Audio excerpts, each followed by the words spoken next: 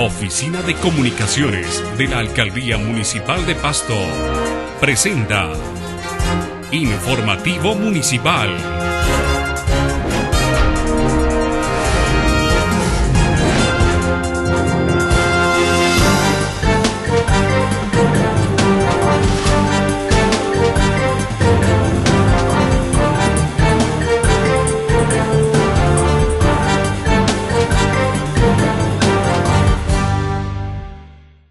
Titulares.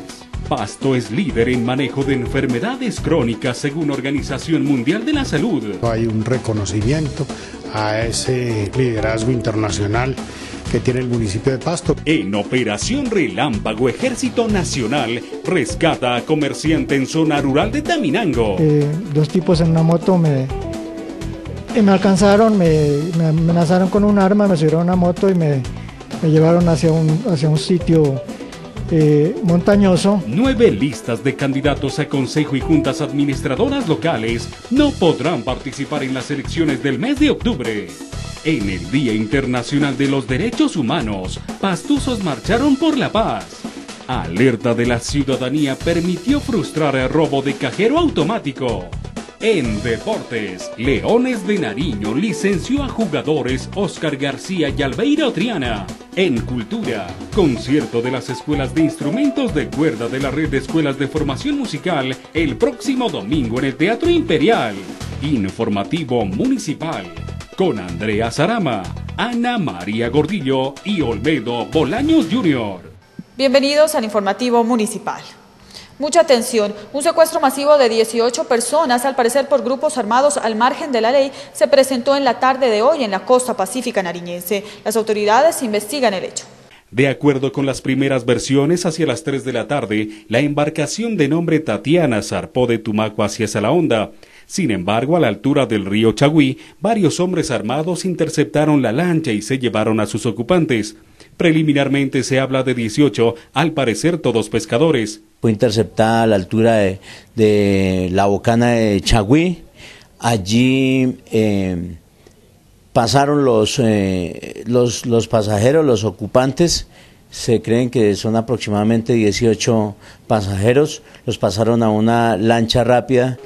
De inmediato la Infantería de Marina inició operativos de búsqueda y logró encontrar la embarcación con víveres y los objetos personales de los ocupantes. La lancha estaba al cuidado de dos personas ajenas a la misma. En la zona opera la columna Daniel Aldana de las FARC, por lo que se presume que el secuestro masivo podría ser de su autoría.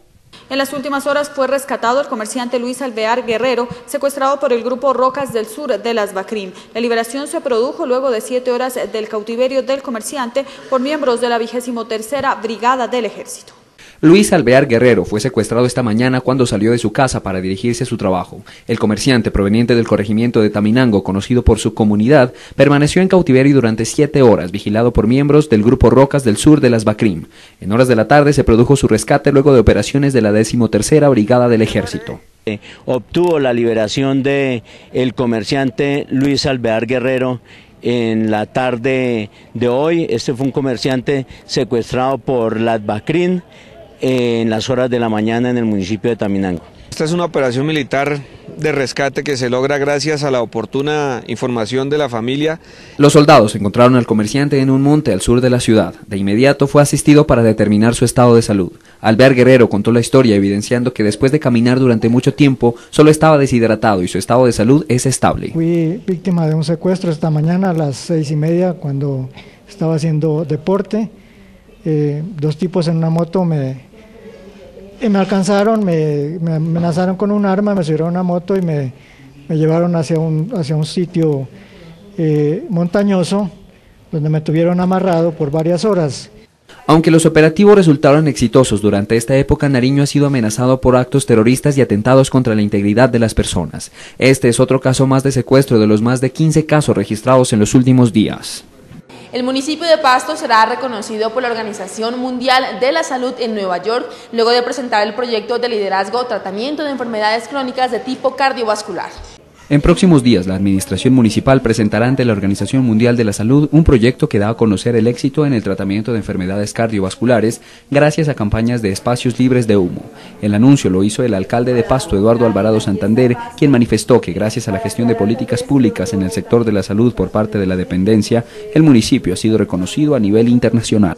Prevenir estas enfermedades, controlar los factores de riesgo que la determinan utilizando la metodología de la Organización Mundial y de la Organización Panamericana de la Salud. Por eso hay un reconocimiento a ese liderazgo internacional que tiene el municipio de Pasto.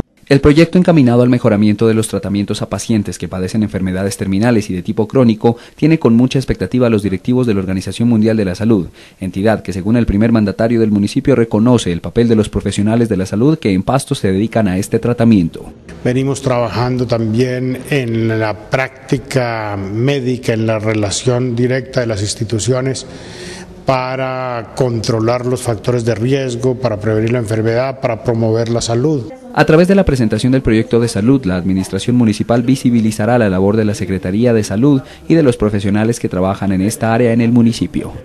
Nueve listas fueron excluidas por las autoridades electorales debido a que no cumplieron con el requisito de equidad de género conforme lo dispone la nueva ley para las próximas elecciones.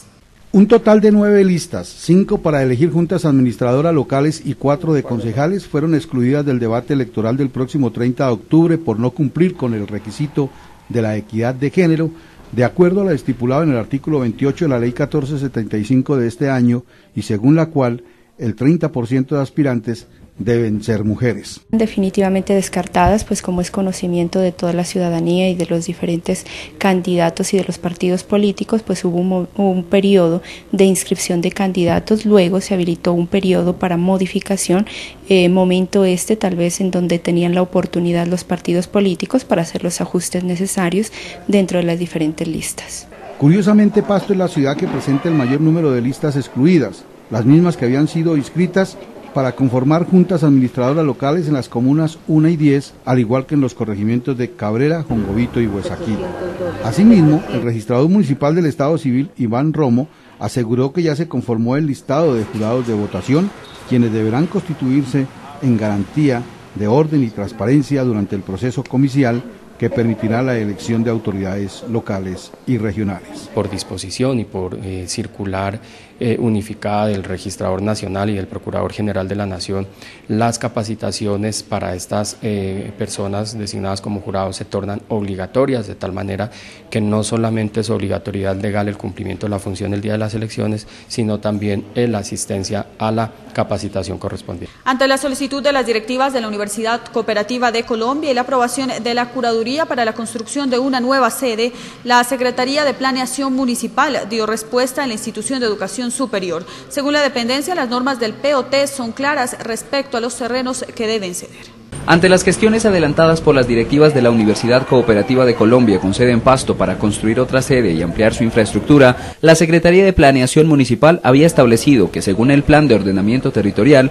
los terrenos debían ceder zonas verdes. Según el rector de la institución de educación superior, estas condiciones truncan los planes de construcción y disminuyen los espacios que aunque no se han construido, se establecen en los planos de diseño.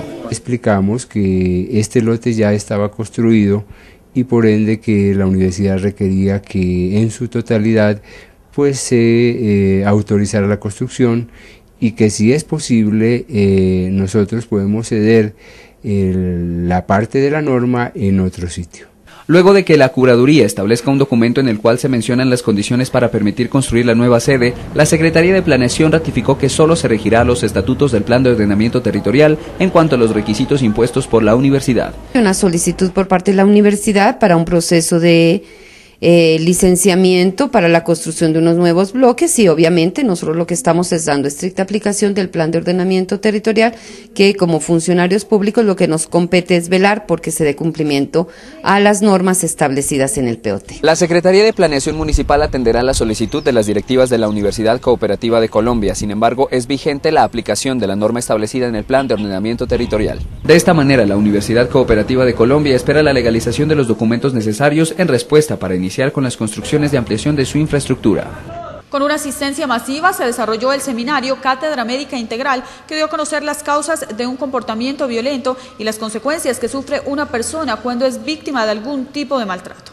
El comportamiento violento de una persona puede tener origen en la forma de crianza y relación de los padres que el niño observó al interior de su hogar, sobre todo en los primeros cinco años de vida. Cuando una persona recibe amor, hay unas estructuras en el cerebro como son la amígdala, el hipocampo, el lóbulo frontal, que se forman de una manera mucho más adecuada Así como el doctor Cástulo Cisneros, el experto en psiquiatría doctor Jorge Forero, explicó las consecuencias que una persona sufre cuando es víctima de violencia y la atención que se le debe prestar a este tipo de comportamientos. Síntomas como mal genio, síntomas como incapacidad para tener buenas relaciones, síntomas como no dormir, como dejar de comer, todos ellos parte de lo que llamamos el trastorno por estrés postraumático.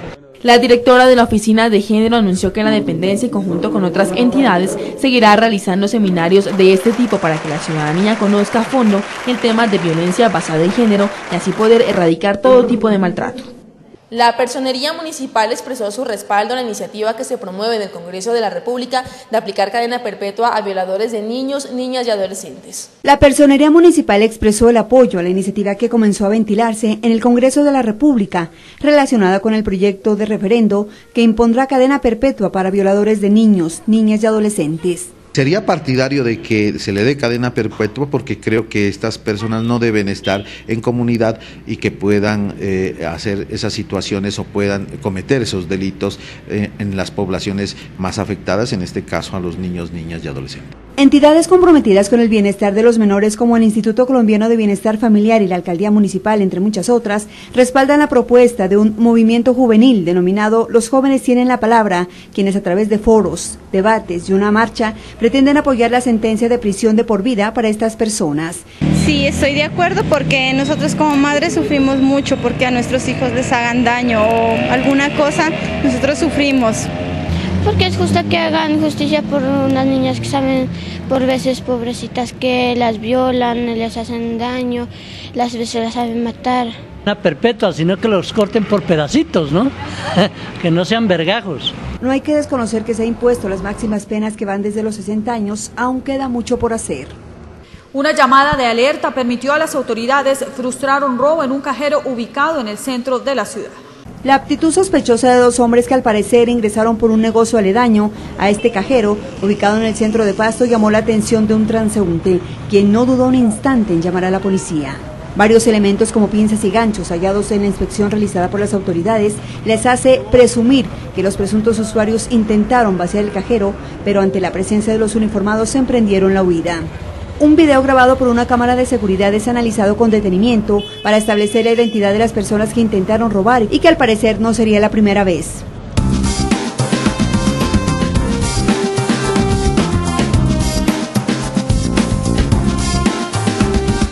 En el informativo municipal es hora de toda la información deportiva con Olmedo Bolaño Jr. Olmedo, adelante. Gracias, Andrea. Buenas noches y bienvenidos a los deportes en el informativo municipal. Los jugadores Oscar García por indisciplina y Albeiro Triana por bajo rendimiento fueron licenciados del conjunto de los Leones de Nariño, que hasta ahora se desplaza hacia Bogotá para cumplir su compromiso ante representativo de PIZ en la jornada siguiente del torneo profesional Postobón. Con dificultades para la conformación de la línea titular y con la determinación del licenciamiento del arquero Oscar García y Albeiro Triana por hechos aislados de la parte deportiva, el conjunto de los Leones de Nariño preparan su siguiente salida en calidad de visitantes dentro de la segunda fecha de los cuartos de final del torneo profesional de microfútbol. Está lo de García, igual está lo de Triana, tengo que, confirmar esa parte, a qué llegarían, qué acuerdo llegarían, siguen, no siguen. Los dirigidos por el técnico Henry Rosero son conscientes del compromiso que tienen con su afición y más de sumar puntos vitales en calidad de visitantes. La idea es ir a, sacar los dos puntos. en caso tal de que no se puedan dar los dos puntos, mínimo un empate, para ya rematar aquí los tres partidos en casa, que somos fuertes de locales. Los Leones de Nariño rivalizarán este sábado en Bogotá ante el quinteto de PIZ a las 6 de la tarde. Espero que podamos quitar un resultado positivo, ya que nos trazamos de estos dos partidos quitar dos puntos y luego venir acá en casa y ganar los tres partidos. Pero como te digo, Piseta es un buen rival, ya le conocemos, ya hemos jugado con ellos el año pasado, nos tocó ganarle los dos partidos, pero cada partido es diferente, ahora es otra etapa. El próximo 18 de septiembre se correrá en el municipio de Guaitaría la carrera atlética internacional San Nicolás de Tolentino con la presencia de los mejores exponentes del atletismo de Colombia y Ecuador. La alcaldía del municipio de Guaitarilla, con el apoyo de la Liga de Atletismo de Nariño, realizarán el próximo domingo 18 de septiembre la décima quinta versión de la carrera atlética internacional San Nicolás de Tolentino, prueba que se corre como vinculación a la celebración de las fiestas patronales de este importante sector del sur del departamento de Nariño. La competencia, que se desarrolla sobre una distancia de 10 kilómetros, reunirá a los mejores exponentes del fondismo nacional e internacional. Estarán atletas de la vecina República del Ecuador, estará el Machi, un, podemos contar con él, pues estamos haciendo todas las gestiones para poderlo traer a él. Es verdad que es muy difícil porque es un atleta, como ustedes saben, es de mucho renombre. También tenemos atletas de acá, del Valle, del Cauca, eh, de Putumayo y también los atletas de aquí del departamento. El trazado recorrerá las principales vías y arterias del municipio de Guaitarilla en disputa de cuatro categorías, congregando a las principales figuras del deporte rey de Colombia y Ecuador. Este fin de semana continúa el proceso de la recreación dirigida en distintas zonas del municipio de Pasto, tanto rural y urbano, con la coordinación del Instituto Municipal Pasto Deporte. El Instituto Municipal Paso Deporte continúa este fin de semana con su proceso de los recreoparques, actividad que se desarrolla en dos sitios estratégicos, con el ánimo de seguir proyectando y masificando diferentes modalidades recreativas para el deleite de grandes y chicos. Los beneficiados serán el sector del barrio San Albano, el cual reunirá este sábado 10 de septiembre diferentes estrategias deportivas y el próximo domingo a las 2 de la tarde la cita será en el barrio La Loma del Carmen, conocido antiguamente como Marquetalia. Vamos a estar en dos sitios eh, que son en, realidad muy interesantes y sobre todo muy vulnerables, como son el día sábado estaremos en San Albano, eh, a partir de las 2 de la tarde hasta las 5 de la tarde y estaremos el día domingo en Marquetalia a partir de las 2 de la tarde hasta las 5 de la tarde. Además, este domingo se desarrolla el gran ciclo paseo al corregimiento del Encano. La concentración será a las 7 y 30 de la mañana en la Plaza del Carnaval. La invitación para que la familia Pastusa acuda y se vincule masivamente a esta serie de actividades recreativas que permiten el esparcimiento de niños, jóvenes y adultos. La invitación para que todos los seguidores de la actividad deportiva nuestro medio se concentren este domingo a partir de las 7 de la mañana en la Plaza del Carnaval para que participen activamente en el gran ciclo paseo al corregimiento del Encano. También pendientes del desempeño del Club Deportivo Pasto a las 3 y 30 de la tarde, el domingo en el Estadio Libertad, enfrentando al cuadro del Atlético Bucaramanga. También ha nacido deportes en el informativo municipal. Usted está viendo el informativo municipal. Estudiantes de diferentes instituciones educativas, fundaciones que promueven la defensa de los derechos humanos y autoridades regionales participaron de la Caminata por la Paz realizada en el Día Internacional de los Derechos Humanos.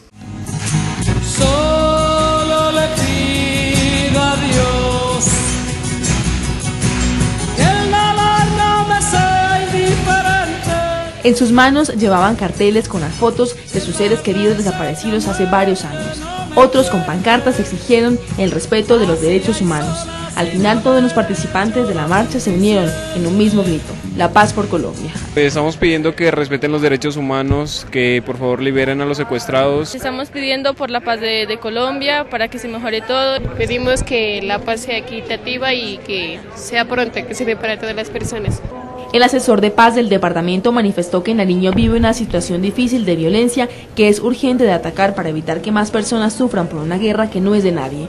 Es una muestra de, de que no se ha perdido la esperanza, de que vamos a seguir trabajando eh, a pesar de la guerra, a pesar del conflicto, por construir alternativas de paz. La jornada finalizó con un acto dirigido por la diócesis de Pasto, en la que los participantes de la marcha entonaron el tema musical Solo le pido a Dios de la fallecida Mercedes Sosa, canción que se denominó el himno de la paz. Asimismo, se elevaron los globos blancos como un hecho simbólico que representa el clamor de las personas por el respeto de los derechos y la anhelada paz.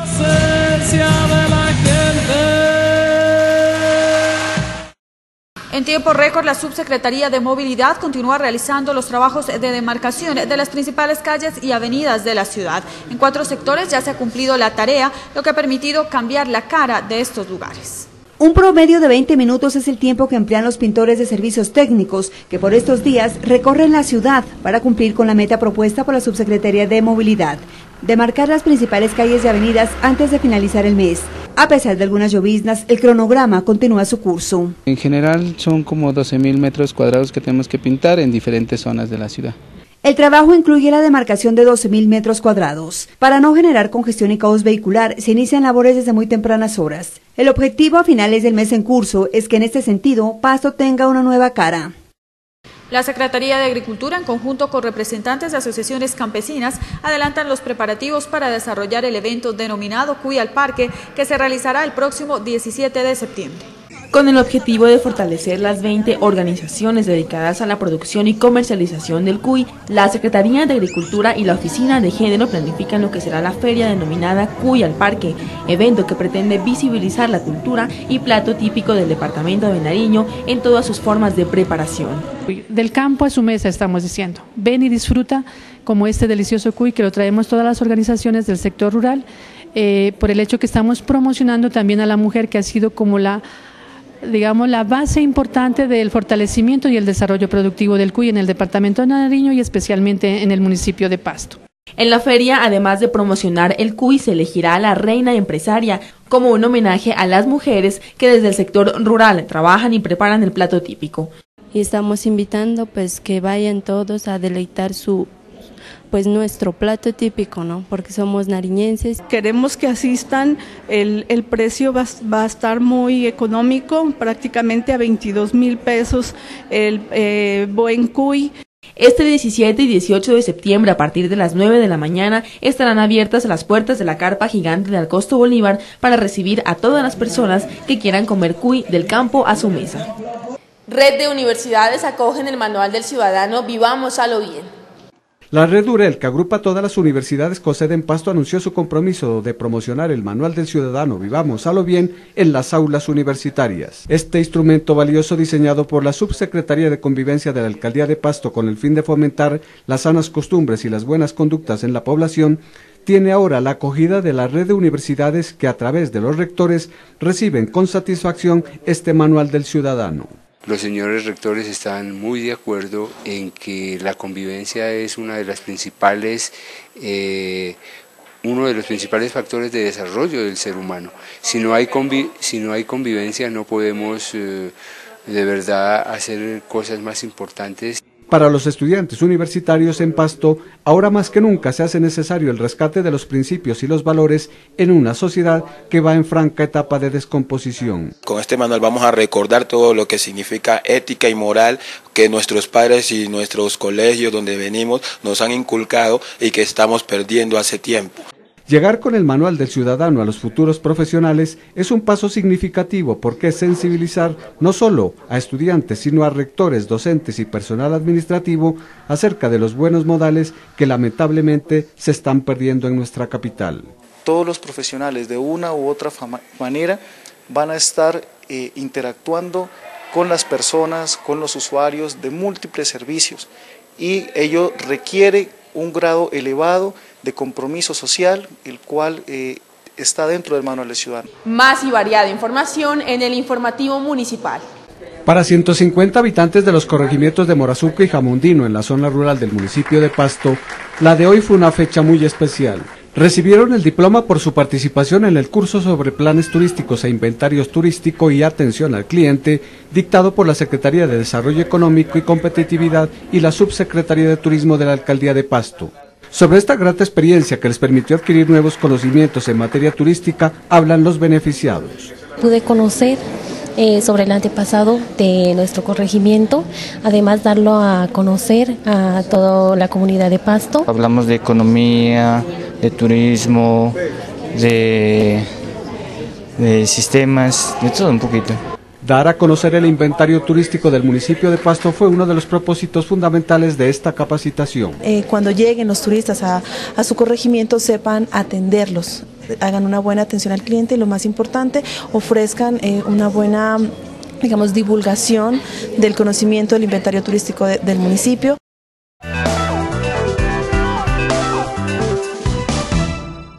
En el informativo municipal llegó nuestra sección de cultura con Luisa Fernanda Costa. Luisa, adelante con la información. Ana María, gracias. Y en nuestras notas culturales de hoy, este domingo 11 de septiembre a las 11 de la mañana en el Teatro Imperial, algunas agrupaciones de la red de escuelas de formación musical ofrecerán un concierto a toda la ciudadanía. Las tres escuelas de instrumentos de cuerdas de la red de formación musical del municipio ofrecerán un concierto donde presentarán las diferentes agrupaciones que han preparado. Presentaremos a los niños que recién comienzan, que comenzaron este año, con las orquestas semilleros, así se llaman. Posteriormente las preorquestas, que son de niños ya a nivel intermedio, y los de orquesta que ya tocan en un nivel bastante desarrollado. Hace varios meses que 120 niños se vienen preparando para este concierto donde demostrarán su afecto por el instrumento que escogieron aprender. Yo toco el violín. Y me gusta porque es bonito y suena muy bien. Ellos mismos han querido extender la invitación a toda la ciudadanía.